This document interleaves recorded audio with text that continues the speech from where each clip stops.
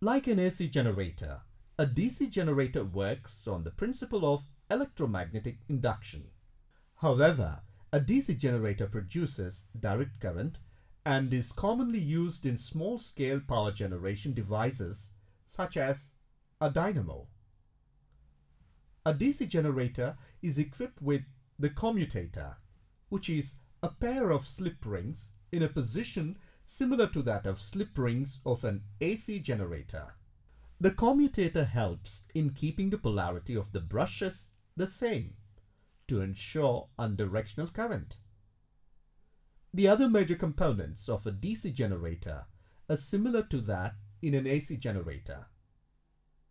A DC generator that contains a loop generates a pulsating DC current. To produce more stable current, a coil with more turns is typically used.